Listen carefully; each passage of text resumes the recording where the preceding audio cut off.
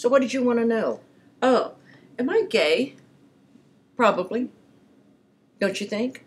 I think so. I identify with being gay because I identify with being alternative. I solved that problem with sexual identity back in the 70s. It was How did you do that? well, we didn't have bisexuality. It was just emerging. So it was just homosexual, heterosexual, you were straight two or gay. choices. Two choices. No bi-curiosity. Oh no, that came much later on. So I said I was a heterosexual, bisexual, lesbian. I love it. Nobody ever, ever questioned it. Nobody ever asked me one question about my sexual identity. In the And then you meantime, can do anything with anyone. in the meantime, I'm mostly masturbating, so you're self-sexual.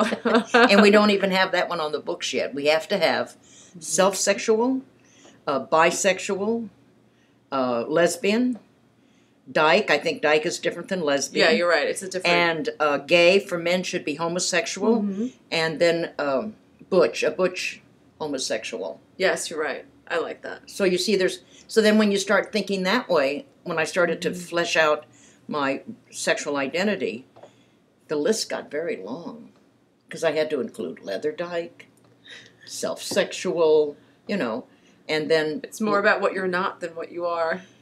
Yeah, it's what are you not doing right now? Oh, I try to get a little bit of everything in every week.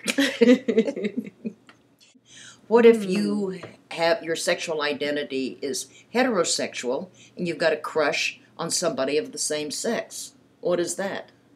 That's how I run my life. It's who I'm attracted to. I don't care about their gender at all. Oh, that's kind of slutty. Well, the shoe fits. so remember when we had that the NOW first and last sex conference? 1973, Yes. the year I was born. Yep. Sally stood up there and she said, "I think we just have to get rid of all sexual labels and say I'm sexual." What is your sexual preference? I love it. Sex. Sex is my sexual preference. Yes. I love it. across the board. And and what is your sexual identity? Sexual. I'm sexual. Leaves it wide open. And I think it changes. Your identity is kind of fluid throughout your life. Yeah. It, Especially with women.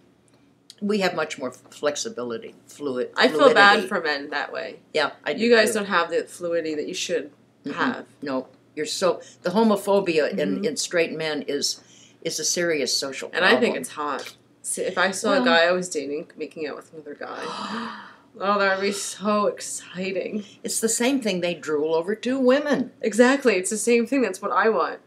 Well, I got to tell you, those years in group sex, that's what it was all about.